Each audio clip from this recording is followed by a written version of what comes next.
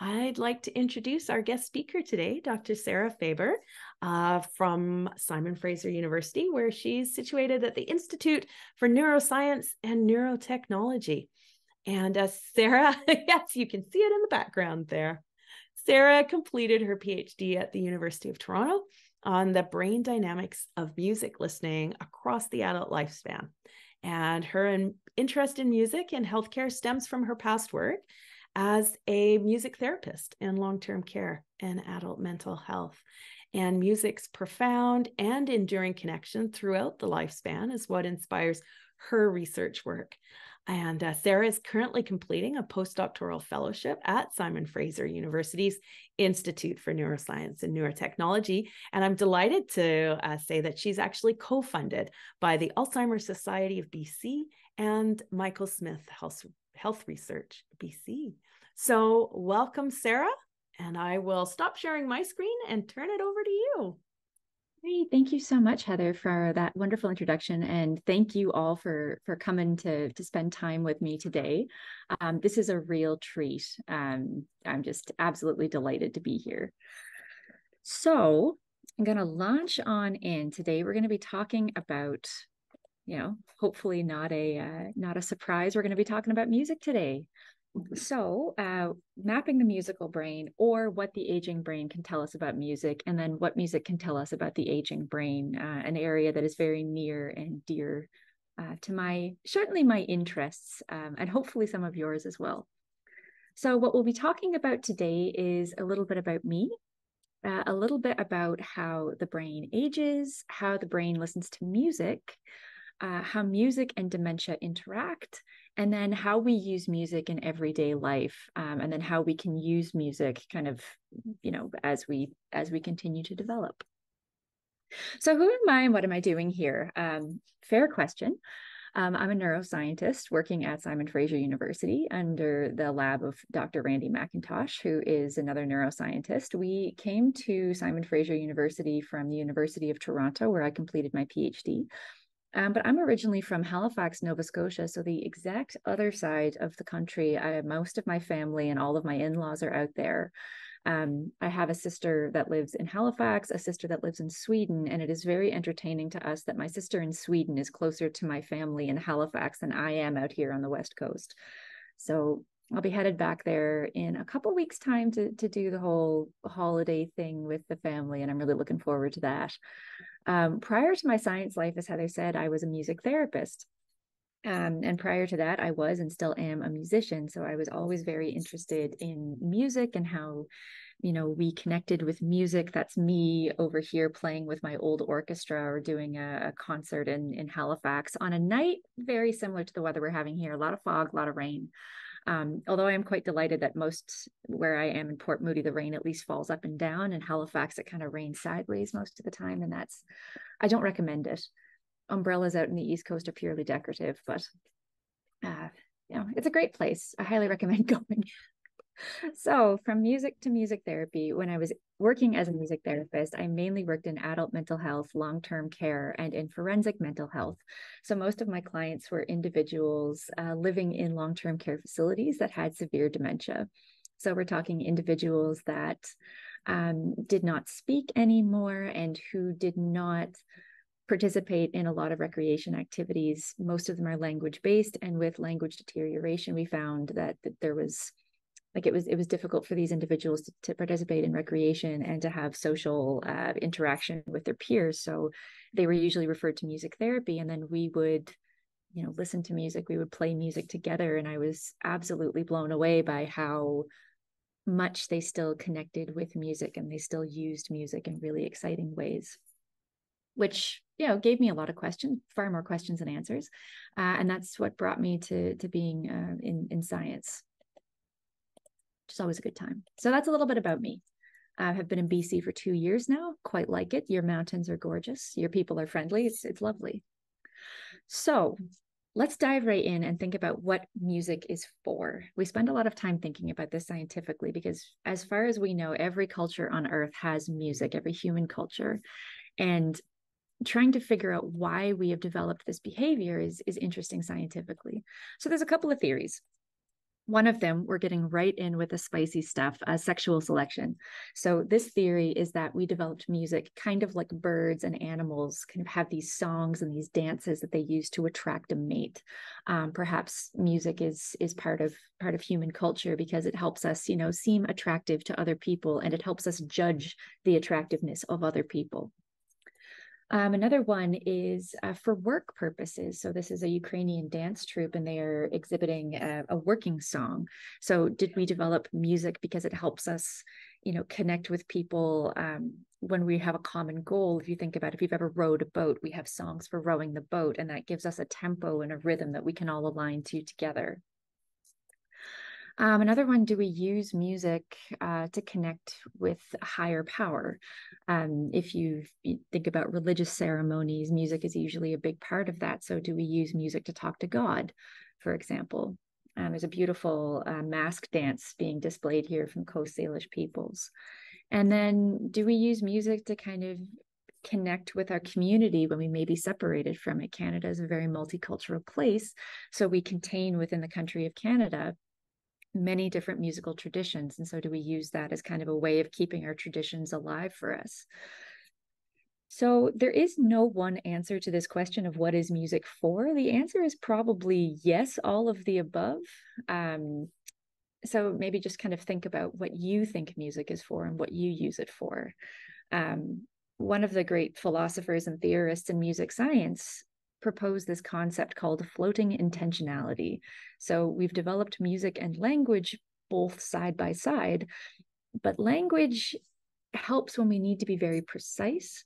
And in some cases, music helps when we need to be a little bit less precise. If you can think about something like a diplomatic, um, a, a, a diplomatic consultation or, or a diplomatic procedure the words that the words that you're using have a big very important effect.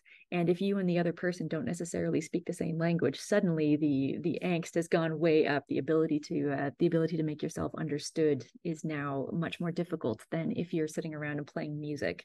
So his theory with floating intentionality is that way way way way, way back before modern humans emerged we might have developed this behavior when we needed to communicate with people between communities where we weren't necessarily all communicating in the same way.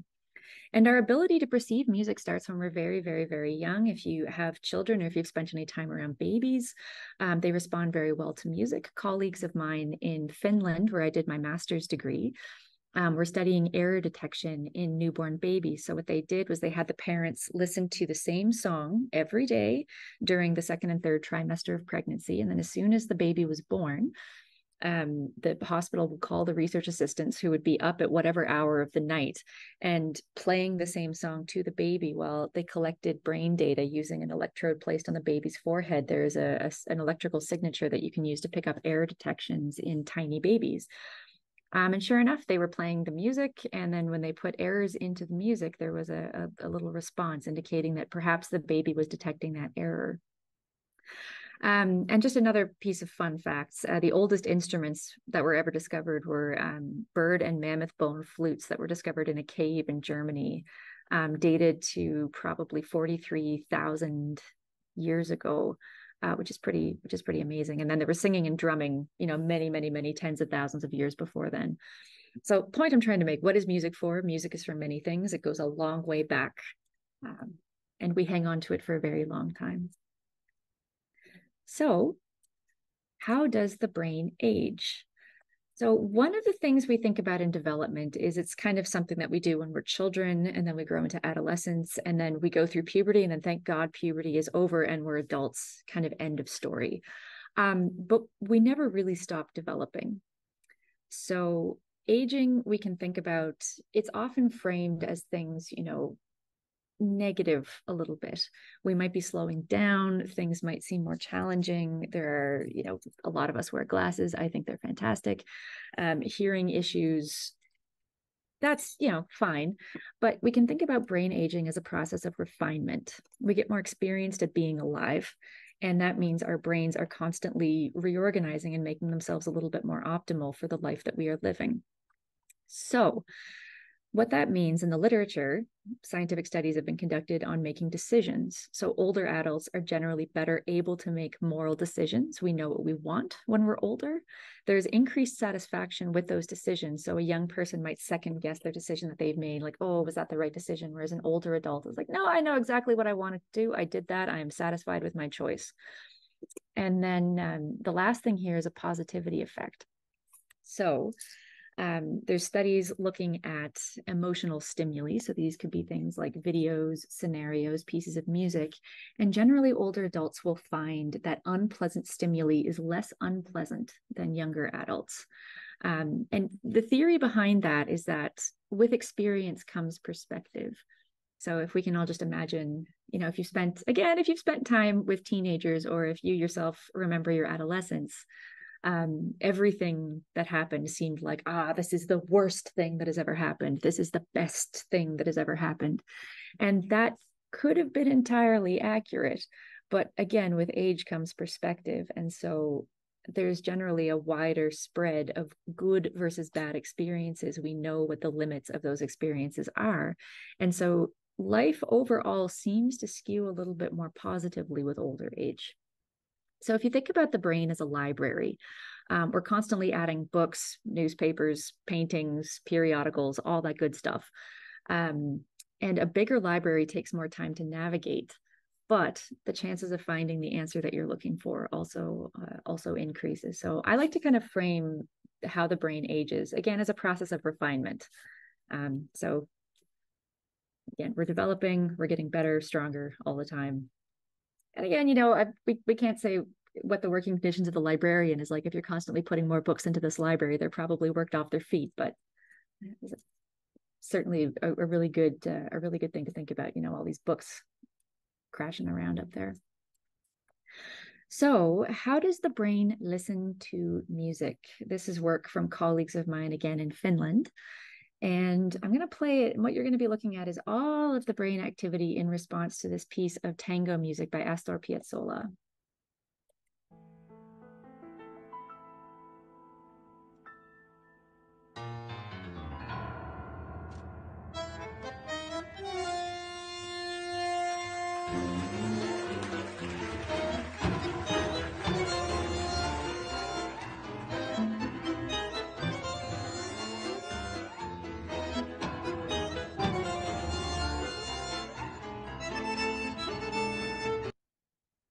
So the first thing that I'll draw your attention to is over on the side of the brain here. So this is the back of the brain with the cerebellum and the brainstem here. On the sides of the brain, this is where the temporal lobes are located, and the temporal lobes are the regions that get the input from the ears. So for the longest time, there was kind of theories that the brain was a collection of different pieces, and each one of those pieces had a job.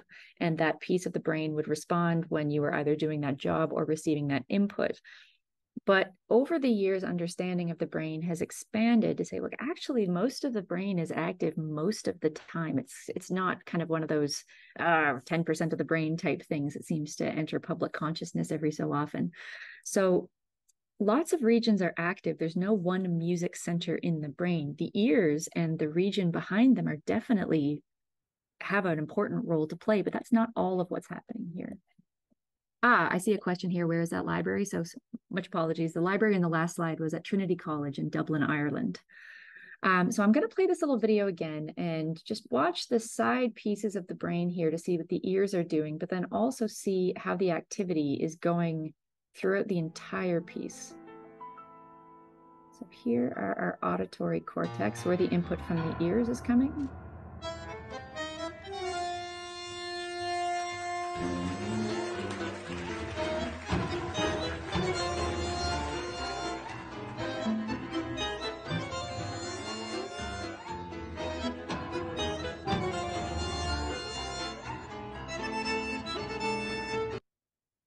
So lots of stuff is happening in there. And uh, and that's you know a what we like to see and b what makes it such a such a, a complicated thing to try and research. So how do we hear? If we're going to talk about music we do need to talk about hearing. So sound hits the ear and every sound hits the ear. Um, it doesn't matter if it's a musical signal if it's a voice if it's like a loud bang um, an alarm clock all sound is displacement of air that air enters the ear and gets converted into electricity where it is sent to the brain and then the brain the signal propagates through the brain and from that sound, you get additional information, such as, oh, is that a person's voice? Do I know that person? Oh, what's their name? And then all of the other information that is coming with that person's like with, with that speech signal. So you're listening to me talk right now. You might be able to tell that i am a woman. I am speaking to you. I come from the east coast. If you have a good ear for accents i might have a little bit of a little bit of a stuffy nose just because of this weather. Um, but then there's also what I'm saying. And so your brain is putting all of these pieces together and turning the noise that I am producing into language and into something that you can understand, and maybe even something that sparks uh, familiarity or a memory for you. And that's, you know, from sound to the ears to electricity to the brain, and then to beyond to our to our uh, human experience how we experience sounds is is quite a thing so i'm going to play a little video to show us all how the ears work and it's it's a few minutes, so I might pause it uh, frequently, but I think this is the best illustration of how sound is converted into the ear. And it uses music, which I love.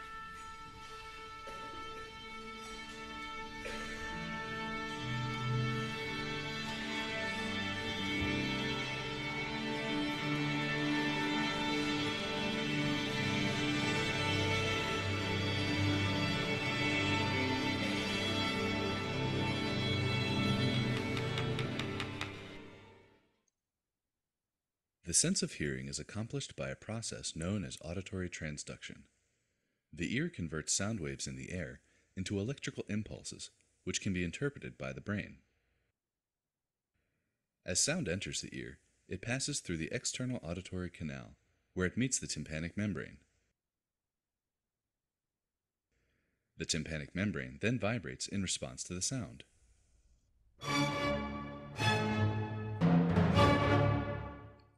Sounds of a lower pitch or frequency produce a slower rate of vibration, and sounds of lower volume or amplitude produce a less dramatic vibration. Higher frequency sounds produce faster vibrations. The tympanic membrane is cone shaped and articulates with a chain of three bones called the auditory ossicles. They consist of the malleus, the incus, and the stapes. The movements of the tympanic membrane vibrate the ossicles, passing on the information of frequency and amplitude.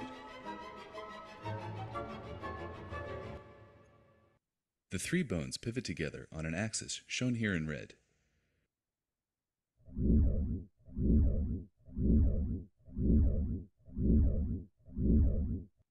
Pivotal axis is due to a series of ligaments which hold the bones in place within the middle ear cavity. The anterior malleal ligament and the posterior incudal ligament are of particular importance for the pivotal axis. Two structures which normally obscure this view of the middle ear have been removed. They are the chordae tympani nerve and the tendon of the tensor tympani muscle. Through the ossicles, the vibrations of the tympanic membrane are transferred to the footplate of the stapes.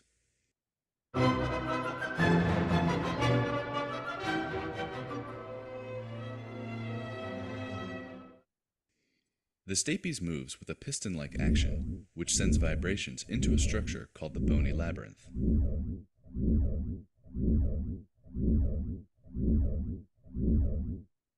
The labyrinth is filled with a fluid called perilymph. If it were a completely closed and inflexible system, the movement of the stapes would be unable to displace the perilymph, and therefore unable to send vibrations into the bony structure. Due to the flexibility of a membrane called the round window, the stapes movement can displace the perilymph, allowing vibrations to enter the labyrinth.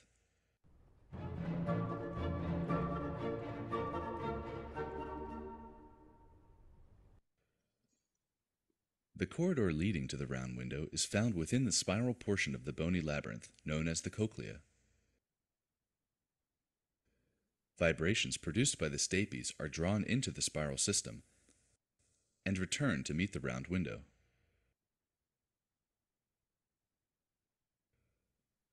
The portion of the spiral passage in which vibrations ascend to the apex of the cochlea is called the scala vestibuli.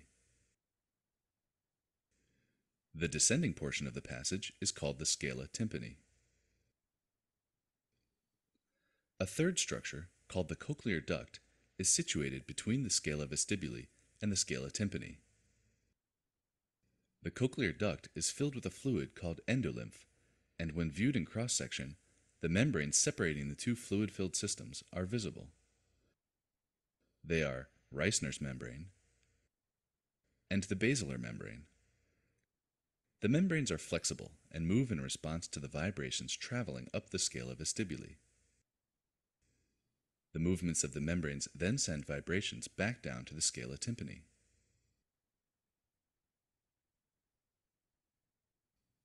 A specialized structure called the organ of Corti is situated on the basilar membrane.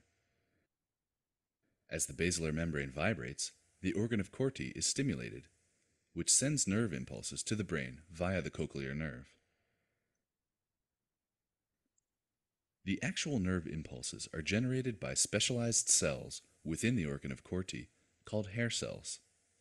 The hair cells are closely covered by a structure called the tectorial membrane. As the basilar membrane vibrates, the tiny clusters of hairs are bent against the tectorial membrane, triggering the hair cells to fire. The entire basilar membrane does not vibrate simultaneously.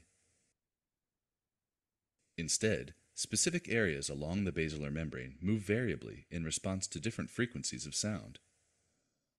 Lower frequencies vibrate the basilar membrane closer to the apex of the cochlea, whereas higher frequencies produce vibrations closer to the base. This arrangement is known as tonotopic organization.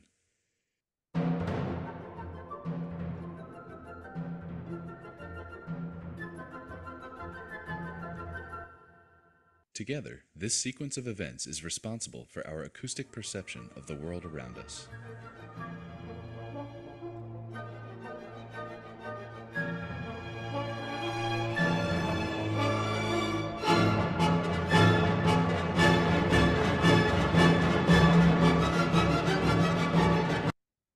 All right, so I'll pause that there. I just think it's a really great illustration of something that we do all the time, we hear, um, and then how just really wonderfully complex the system is um, that allows us so to do. It just every time I watch this video, I'm always just like, oh, I'll just I'll see if there's like a, a two minute segment that I can show in a talk, and then I wound up just showing the entire thing every time because it's just wonderfully interesting.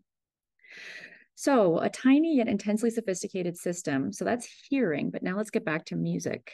So earlier when I said that there is really no one music center in the brain, uh, this is kind of what I'm talking about. So these are all of the known regions that have been identified as important to the study of music through scientific study. So what we do um, in a music listening study is generally play music to people when they're listening or play music to people while we're also collecting brain data. So this can be done in one of many ways. Um, my work uses a combination of electroencephalography. So this is a little machine that you pop on someone's head. It's a little cap. And then uh, electrodes are fitted onto that cap and they collect electrical impulses coming from your brain. So it's kind of like a, a, microphone. If you can think about it as a very powerful microphone that's picking up the electricity um, and then amplifying it into a computer. And then we can turn that electrical data into numbers that we can then do a lot of uh, fun math and statistics on. Um, the other machine, which some of you may be familiar with, is an MRI or a um, magnetic resonance imaging, which is a far more complicated beast. It's a big metal tube and it takes pictures of the magnetic fields uh, driven by the blood flow around your brain. Um, so this one you end up usually going to a hospital facility. You can't have any metal on you or in you, and then you're placed into the machine, and uh, it's quite loud, which means that we have to fit people with special headphones that have no met- metallic components whatsoever and play the music in the scanner. And then we look at what the brain is doing, uh, lined up with what is happening in the music. So Um, the brain is constantly picking up information again like with speaking being able to identify the person's voice whether you know them and then how that voice is built up into words and sentences and concepts and then maybe memories and understanding. We have the same relationship with a musical signal. So music has very tiny elements in it as well kind of like a the, the quality of someone's voice. If i'm playing a flute you'll know that a flute is different than a drum perhaps. Um, but then music is built up like language into these larger units of meaning. So we can think about something like a melody whether you can tap your toe along to the beat um, and that piece of music right, might remind you of something uh, something important to you. It's like oh this is the music that was playing when i was you know this is my wedding song. This is a song that my my parents used to sing to me when i was younger. Um for example or it's maybe it's a song that you really dislike. Oh i hate that song. I was you know, we're quite good at uh, at what we do and do not like in music and music is very good at at making us make those decisions. So it's a bit of an example of how the brain listens to music and so all of these different regions have a role to play in this very complex up and down understanding of how music works. So to give you a bit of an example on um, on some of these units of musical meaning, and we've kind of covered that you know my voice is going to be different than a snap, which I think Zoom is very good at editing out. Um, so a slightly larger unit of information is uh, phrasing and melody. So if I were to say "Twinkle, twinkle, little star, how I wonder what you thermos," That's not the right ending for that. Um, and we know that. So even though if we don't consider ourselves musicians or if we have no musical training, you know generally what is supposed to come next. So if we try it again, twinkle, twinkle, little star, how I wonder what you. How many of you sang R at the end? It's always strange. You kind of got to leave it hanging there a little bit. But we're quite good at making predictions. Yes, wonderful. Thank you, Celia. we're very good at, at hearing and learning very quickly. Even if you're not familiar with the song Twinkle, Twinkle, Little Star, you can make a prediction of what is going to come next. Um, and we do that without being taught. So we are exposed to music in a lot of different ways from a very, very early age. And we are constantly taking this information in and using it to be able to make predictions and to gather information and be able to apply that information to, to new music that we find in the future which makes it really music a very useful tool when we're studying the brain, but it also does make it quite complicated. Um, because with all of this complexity, then um, how can we ever hope to group people together and, and to learn things? So I'm going to tell you a little bit about my specific research now. So I work in a brain lab. And I am really interested in how music changes throughout the adult lifespan with the onset of dementia. So, like I said, my music therapy work, I mainly worked in long term care with people with severe Alzheimer's disease. And uh, a lot of my clients, again, had stopped speaking, but they were still able to sing and so i had a lot of family members kind of coming up to me being like i haven't i haven't been able to speak to to my loved one in quite a quite a little while. Why are they singing? And i was like i i honestly don't know. I would love to be able to to give you an answer but i but i can't um, and it wasn't just that they were able to sing, you know, people were dancing, people were coming up with novel music. I could give somebody an instrument and play, just improvise something, and they would improvise back. And in that way, we would have a musical conversation. And I was really fascinated at what in the brain was driving that effect um, because at that point when someone is nonverbal you can't ask them about it. You know people are very good at talking about music at what they like. People are especially good at telling you what they don't like in music. Um, but if somebody has a speech impediment or if somebody does not have the use of language anymore that becomes very difficult. And so i think you know one of my pet concerns and we can talk about this a little bit later is how science needs to really catch up and develop um, ways in which to communicate and to understand individuals that no longer have the use of language.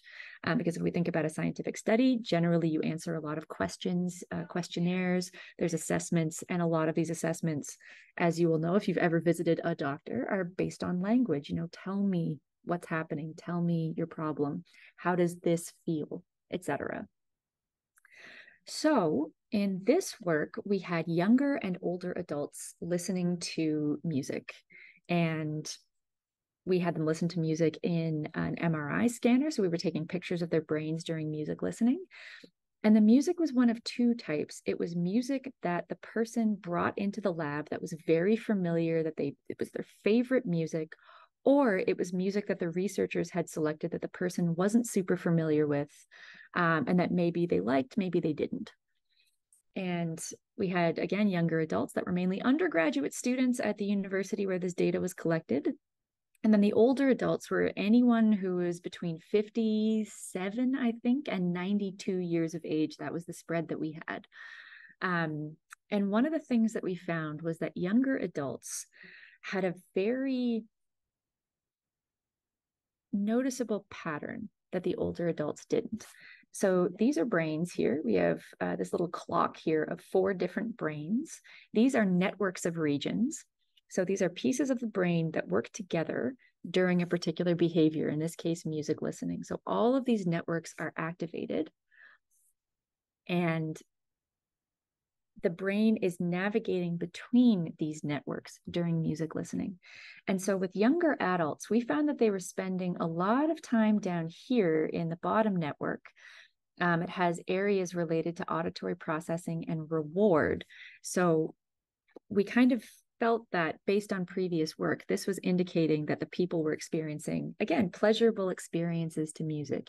If you think about listening to your favorite song, you know, some people get chills, um, some people might become very emotional. It just music makes us feel good, which is another another reason why we might have developed it in the first place. Um, but younger adults were only getting into this feel good music network with the music that they really, really liked if they didn't know the piece of music and didn't like it as much, they were going over here where we have some of the same regions. The auditory cortex on both sides of the brain is involved. So they are still listening to the music. They're not just, you know, switch their ears off and they're 100 miles away. But if they liked the music, they were down here in the reward network. If they didn't like the music, they were up here in just the regular listening network. But for older adults, they did not have this distinction. Older adults were spending the vast majority of their time down here in the music reward network, indicating that even if they didn't know the piece of music, and even if maybe it wasn't their cup of tea, it still made them feel good, um, which I think is is really wonderful. So the the gentle conclusion that we would make from this maybe is that perhaps as we age, we become less snobbish about the type of music that we listen to. Um, so this was this was a great finding, and I was very excited about it. Um, but then the older adults stayed enrolled in a study. So they came in, they did the brain scans, they did the music listening, and then they completed an eight week long music therapy intervention. So these were cognitively healthy older adults. They didn't have um, any uh, vascular problems. There was no history of stroke. Uh, they did not have um, any mental health concerns, so no diagnosis or no suspected diagnosis of depression, schizophrenia. Pretty healthy older adults. Um, they spent one hour each day listening to music they liked, and this music was assembled into a playlist that they could just queue up, kind of like a compilation album. Um, they had to listen for an hour every day and then they wrote down you know thoughts feelings impressions any memories that they had and then once a week they would have a session with a music therapist where they would talk about the imagery that they had or they would talk about um, the thoughts and observations any memories all of that good stuff with the music therapist. They would update the playlist if they needed to but that was that was pretty much it. And then the music therapist um, would kind of you know provide leading questions. They would explore the different themes that the participants had um, had come up with during the music listening. And at the end of eight weeks of music listening they did the same protocol. So they came back to the lab. We recorded their brain activity listening to the exact same pieces of music and we found that this reward network was even more active after intervention. So compared to younger adults older adults were already spending much more time in this music reward network but after me after the music therapy intervention where they listened to music that they liked for an hour a day every single day it didn't matter what kind of music the scientists played to them they were still activating this music this auditory reward network. It still made them feel good um, which was very exciting for me um, and what this shows is that maybe something as simple and as enjoyable as music listening can affect the way our brain uh, is organized and could have a little baby effect in how our brain continues to develop with age and neurodegeneration. So, um, comparing side by side here, this is the younger adult pattern. So the orange arrows are when people are listening to music they like. The blue arrows are when people are listening to music they don't like.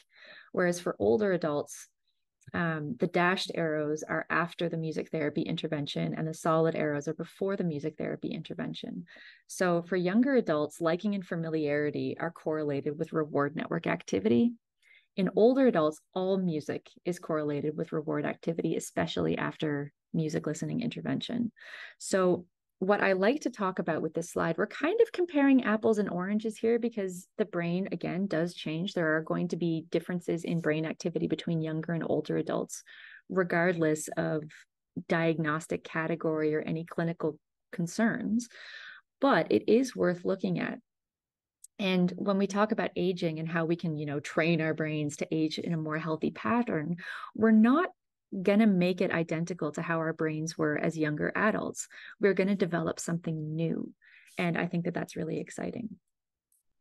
So, how does music work in dementia? Um, we are missing a lot of information on the brain side of things. This is brand new areas for research, and I'm really excited to be part of the team that's working on this. So, behaviorally, we know from clinical reports, and I know from my own clinical work as a music therapist, that with dementia, music listening does not look much different. You are still able to get enjoyment out of the music that you've always enjoyed. The music that you didn't enjoy might still be really unpleasant. Um, but the behavior does not look a lot different. You can sit there, you can tap your foot, you can sing, you can hum, even if you can't sing. And I have some people in my family that fit this category. You can still sing. It might not be enjoyable for the people around you, but you absolutely can. Um, so behaviorally, we know that there's not much difference between an individual with dementia and an individual without dementia, and that is wonderful. The brain, on the other hand, we do not know, but we're working on it. Stay tuned. So, I've talked a lot about music therapy, but a little bit about what music therapy does is it uses music um, instead of, you know, talking, for example, uh, to achieve therapeutic goals. So, some of the usual music therapeutic goals that I would work for was improving people's quality of life. That is a huge one for us. Uh, we want to promote social interaction. We're finding out more and more as research continues to develop that maintaining social interaction um, really, really helps us age well and uh, and help us recover from you know illnesses from injuries and especially at the end of, of a lockdown which i am sure that you're all very happy that we, we're hopefully coming to the end of this and we won't have to do any of the isolation for too much longer. Um, i think it, it really solidified for a lot of people that social interaction even if even if it's just as as simple as you know talking to people out at the shops is quite important um, music can spark reminiscence. You know, you can hear a song, and again, it could be stimulating a memory that is quite pleasant. It can also be stimulating a memory that is quite unpleasant. There are songs that I cannot listen to without bursting into tears because they remind me of uh, my grandmother, who I grew up with very closely. Uh, she's no longer around, but she was a huge Rita MacNeil fan. So now that we're headed into Christmas, um, my sisters and I, we we we strategically deploy the Rita MacNeil if there's ever a time when you just need a good cry. Um, music can facilitate communication. Um, again, if language is a bit stressful or if someone is struggling a little bit with word finding, usually singing is a lot easier and a lot less um, fraught than singing together. It can be used for emotional regulation. If you think about when you're in a really crap mood, um, hearing a piece of music that you like can kind of lift you out of it. Um, similarly if you know you you struggle working out or you struggle getting moving maybe putting on a, a piece of music that can put some pep in your step that is a really good way of of uh, of doing emotional regulation and motivation so i use music to motivate myself a lot um, you know, if I have to do a particularly unpleasant task, you know, I might put on some music to really psych myself up. All of these things that uh, that we use music for, but that is then formalized under music therapy. These are some of the examples of the things that people will do. So, if you're interested in maybe like ah like i've i i really like music or my loved one really likes music and i'm struggling to connect with them here are a couple of you know little little top tips on how we can use music in everyday life just to make things a little bit more pleasant. Um you can listen to music together with people. That's also you know we used to do that a lot. I think when i was a teenager before i was allowed to drive or go out and and see boys um, for example, I'd usually just wind up sitting around my friend's place and we would listen to uh, tapes and records. Um, the record was still kind of when I was growing up, uh, the, the big cool thing that everyone's parents had. So you would go to the parents' place and see who had the best record collection. So listening to music together and then uh, and then just storytelling or reminiscing. It's like ah, it doesn't necessarily have to be a question and answer. Do you remember where we were when we listened to this piece of music? That might be a very intense question to ask somebody, especially if they're having a hard time uh, word finding. But it's like, oh, I remember where we were when we first heard that piece of music. You looked, you looked wonderful. You were the, you know, the handsomest thing going kind of thing and just storytelling through music is is just one of my favorite things. Um, my husband and i met at a uh, at a an orchestra a young people's orchestra and so we we do a lot of this reminiscing with music together. Um, dance is an excellent way of getting promoting social bonding and getting people together you know even like little chair dances. I remember my grandmother she was she would do a lot of great arm choreography so to this day i have two dance moves and this is one of them but it's really nice to again kind of be a little bit uh, be a little bit silly and you can align yourself with somebody and then that the body responds to that really well. The two of you are doing the same thing on the same um the same plane and that is that is social bonding and social interaction. Um, in Vancouver, we do have uh, choirs that are specifically targeted if you have a loved one with Alzheimer's disease or dementia, um, or if you are interested, or if you yourself have Alzheimer's disease or dementia and are interested in um, getting out there and doing musical activity with other people that will be, you know, very understanding and, and really, really, really open to modifications on a typical choir for this population. There are some fantastic dementia choirs in Vancouver, and I'll have a, a web link to one of them at the end of the talk. And again, using music to motivate or to cue, like if we have a really hard time getting up, you know, put that radio on or put the playlist on, get some music, get some gumption and get up and go. And I would say that these are all things that I do. I don't I don't sing in a choir, but I do play in a band. Um, and I absolutely, you know, even if I really don't want to go, by the time we're we're usually five or ten minutes into it, I'm like, oh, I'm actually really happy I'm here. So I, I trick myself into doing a lot of things with music. It is a very, very compelling carrot um, rather than a stick although if you know you can motivate yourself to do things with music that you don't like and then you can have a carrot and a stick at the same time which is you know just just wonderful but why would you do that to yourself so to kind of wrap up these are the questions that I asked at the beginning of the talk. What can the aging brain tell us about music? Well, it can tell us that music is important and it stays important to us as we continue to age. So, music can spark reminiscence. It can provide a vehicle for social interaction. It can help us get together and connect with people, even if we don't speak the same language and even if we don't share the same history. Um, if you think about going to a dance or singing together with people, or even just being in a concert hall audience, it's all shared experience, and music can really bring people together across different divides and promote social bonding. That's a really huge piece of what music can do. But on the flip side, what can music tell us about the aging brain? So we know that networks are still developing as we age, and that there are different network patterns in music listening between healthy younger adults and healthy older adults. So there's perfectly normal age related changes that happen as we age and our brain continues to develop. Um, we've learned that network activity can change with music listening, which is very exciting, and it might be able to teach us about how the brain develops with dementia.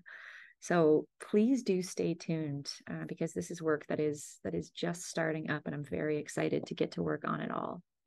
So the thing that I always come back to is that music moves us, and what I am hoping to find in my research is a brain, like an understanding of how these experiences and how we connect with this with this thing this music that we all understand and that we all connect with you know every day whether we're doing it by ourselves or with loved ones or you know even just incidentally you're getting off the bus and there's a, a, a shop blaring christmas music. We all understand what music is. Um, and for most of us it does move us in quite a special way. So i'm really really looking forward to seeing what the brain can tell us about that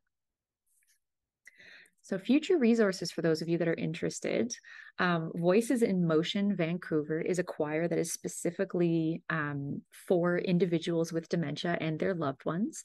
Uh, they do rehearsals, they put on performances, and it is a really fantastic initiative. So, if you're interested in that, do look up Voices in Motion.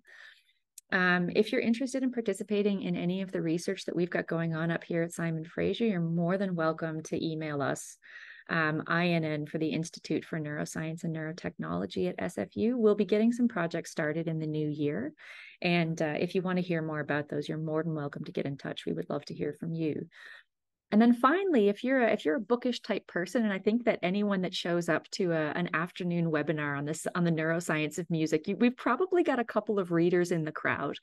Uh, there's a couple of really lovely books that I will recommend to you. One of them, uh, brand new by Canadian scientist Adriana Barton, is Wired for Music, or a science journalist, and Musicophilia by Oliver Sacks. These are two wonderful books um, that also exist in book on tape. So if you're a book on tape fan, um, definitely do check them out. And these are my contact details.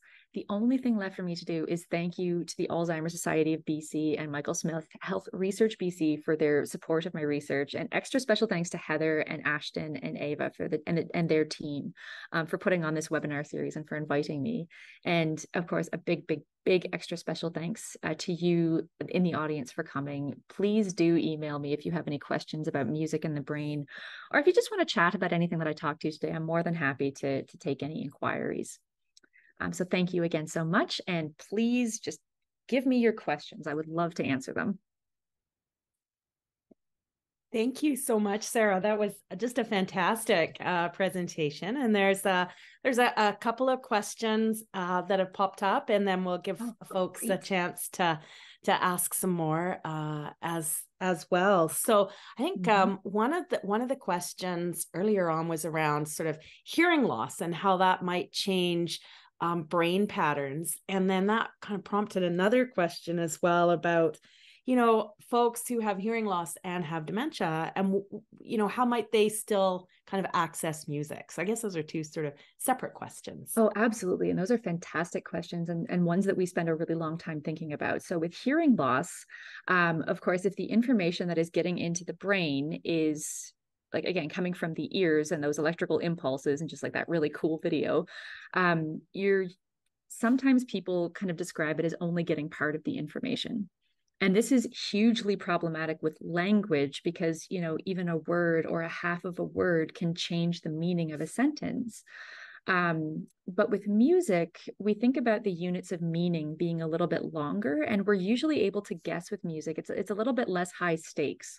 So even with you know moderate hearing loss, people generally report still enjoying music because they don't have to understand every single word or every single note. They can get enough of the overall picture to still have that pleasurable experience. Um, now with you know hearing aids that makes things really you, you, you can still get the same fidelity. Um, I remember my great aunt, she wore hearing aids uh, pretty much her entire adult life. And so she would love going to the orchestra because there was no microphones, no amplification, but she had a really hard time. Um, we used to try to take her to rock shows and she, she didn't really enjoy that because she found the amplified sound um, was really difficult on the hearing aids. They didn't know what to do about that. Um, but it is a, a, big question. And again, I think one that we probably need better tools to investigate, especially if someone develops hearing loss and dementia around the same time. And then these really kind of like language based assessments where it's like, okay, can you hear this? Yes, no, you know, which is better? I just recently went to the optometrist, you know, which is better, A or B? Can you read the tiny little impossible letters? That would be very, very, very difficult um, if I was starting to struggle again with my word finding or if my language was was not up to snuff. Okay. Uh, great, thanks. And uh, another question, sort of slightly related, is is mm-hmm. the volume of the music perceived differently in dementia aside from the hearing loss factor? i.e., wow. is louder music more distressing or not? Yeah, and that is a fascinating question. So, for some people um, with dementia, noises can become a little bit more distressing. Um, loud noises, in particular, can cause more of a startle response. Um, so, for some people, I would say that yes, the volume is probably perceived, or the, the whole stimulus is perceived as generally a little bit more alarming. Um, and one of the interesting ways that you can test that is by playing music to people that they're very familiar with. And then usually that startling response will go way down. And it's just like, oh, I remember this. You know, even if the verbalization of I remember this is not there, you can see people kind of relax into it and they might be, you know, nodding or snapping or toe tapping um, I remember working with a with a lady one time. She was absolutely fantastic. She um, had developmental disability as well as dementia. So when she was younger, she spoke with quite an intense speech impediment, and then she had stopped speaking, um, kind of midway through through the progression of, of Alzheimer's disease. Uh, but I was playing a song, and she just you know was kind of relaxed, seemed like she was gonna you know go and maybe have a little nap, and then all of a sudden she started singing, singing the words with no stutter, no speech impediment whatsoever. You're like, oh, that's, that's really interesting. There's something going on here.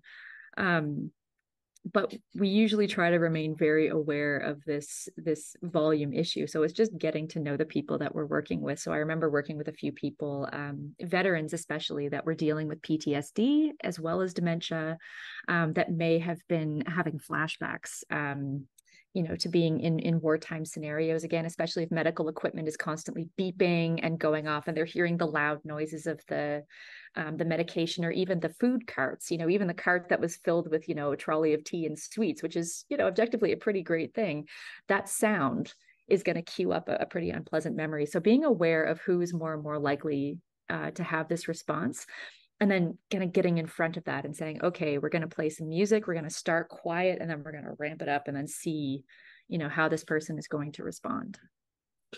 But yeah that's a really fantastic question. And I guess that kind of leads into uh, another question around, you know, how might caregivers who are supporting someone living at home uh, and who's living with dementia, you know, how might music, how might they use music in that that context? You talked uh, a little bit about kind of listening to music and and uh, musical outings, those sorts of things. Do you have any other mm-hmm. sort of thoughts around that? My big one is always um, just kind of closeness and emotional like the the the maintenance of emotional bonds through shared music experiences. Um, because like obviously our re- relationships are going to be changing and relationships do change over the course of, of regular you know regular old development. Like i don't uh, i my husband and i are not the same people that we were to each other now when we were in our 20s thank god. You know things are constantly changing.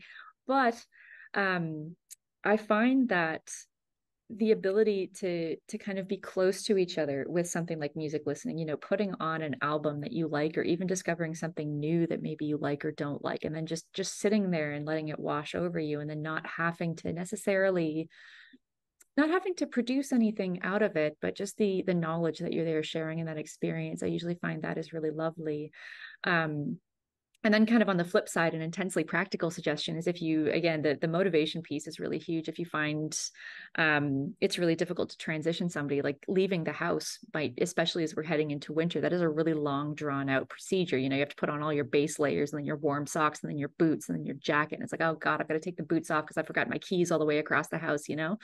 So really using music to kind of keep the energy up and keep the momentum and give like giving loved ones something to focus on that is enjoyable even when the environment might be changing that that usually helps quite a bit as well okay great I, yeah love love that suggestion yeah. and uh, uh got another question coming in here and it says uh, my mom lives in a dementia cottage of 10 people mm. and responds really well to classical and old jazz but mm-hmm. staff's musical preferences differ a little bit uh, and lean towards uh, modern pop music, which of course mom hates and and really then avoids being in that space in the cottage. And uh, how might you put this tactfully to staff? So wearing oh, your music yes. therapist hat here. Yeah, exactly. Well, first of all, I'm on your mom's side here. That's that's Oh no. Um, what I would probably do is just like, hey, I've noticed that that mom isn't kind of like coming out and and being in the being in the shared space anymore. Would you mind if I put on one of her CDs to see if I could get her out here a little bit more? Um, and then seeing seeing what the response is in that, and just like, oh wow, look, isn't she so happy? What do you think? You know, make it seem like it's their idea is always my suggestion. but um, one of the things that I would I would really stress is that your mom loves music, loves a particular type of music, and can we maybe try this as a as a team uh, mm-hmm. together? That would be my suggestion. But that sounds like that sounds like a fantastic uh, place in Gibsons. Like what a gorgeous spot. Oh, and Lise has also uh, shared some some book recommendations up here. Uh, this is Your Brain on Music and the World in Six Songs, both of them by Dan Levitin. I'll just pop them back into the chat because uh, those those are, are really good books as well. And Sarah, I know you mentioned a little bit about the the super cool work that you're doing up at the lab, mm-hmm. you and your colleagues are doing. And I'm wondering just you know, in a nutshell, uh, if you can tell us a little bit about um, the research that you're you're focused on at the moment, and I guess related to that is, are you recruiting participants at all for your study? Uh, yeah, or will you be? That, uh, well, we definitely will be. Um, probably in the new year. We're we're working through uh, some study design right now. We're really hoping to to speak to some folks from the the BC Alzheimer's Society to make sure that we're working on projects and answering questions that are important to this population specifically. Because, um, you know, you never want as a scientist to kind of parachute in somewhere. It's like, ah, I've got a fantastic idea. We're all going to research this and then goodbye forever. You know, you want it to be a team, uh, teamwork. Teamwork makes the dream work, right? So, what we are going to be doing is exploring more about how the brain again brain development changing with age. We're going to be doing some music listening with healthy older adults healthy adults with um, mild to moderate alzheimer's disease. And just very very simple like come in do some brain scans listen to some music and then looking at again the networks how the brain is navigating around those networks, whether we can find any differences. And then we are hoping to um, get some partnerships going with some treatment facilities around here and look at if we can do a similar study with individuals with severe dementia who might be living in care to see if we can put some of the scientific understanding underneath music therapy. Um, when I was working as a clinician, we had a lot of these wonderful case reports where we saw people responding wonderfully to music. Um, but again, science has been very slow to catch up with with the work that's going on currently. So we don't have the tools to necessarily measure how this behavior is working and how it can be beneficial um, to people living with dementia and their caregivers. So we're really hoping to come in, put some of the science under that, and then maybe go forward to advocate for uh, for better access to music and music based therapies for people in care, their caregivers, um, community funding for music based projects, et cetera.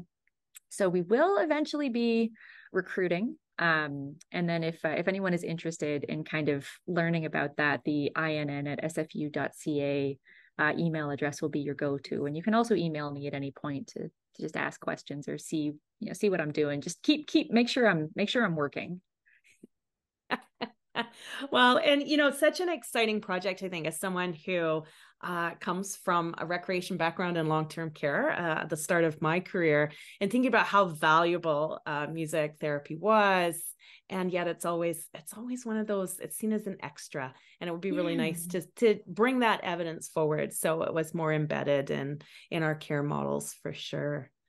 So, well, as we kind of just the the hour ticks over just a little bit after three here, really want to uh, to thank you again, Sarah, for taking time out of your day to share that knowledge, the music. Fascinating to see how music lights up our brain. And I don't know if anyone else had that moment where you're watching brains on the screen listen to music, and as you're listening to music, recognizing that that's actually happening in your own brain at the same time.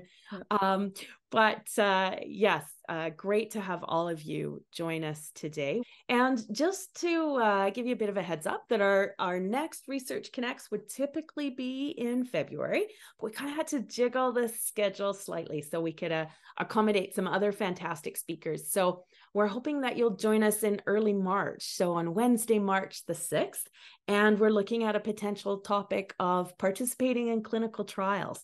And so closer to the time, we'll post additional details, including a registration link at alzbc.org forward slash webinars. So alzbc.org forward slash webinars. So thank you again uh, to Sarah and to everyone for joining us today and wishing you uh, a warm and cozy rest of the day as we find ourselves in an atmospheric river or the winter woes around the, the province. So, and uh, we'll talk to you all soon. Bye bye now.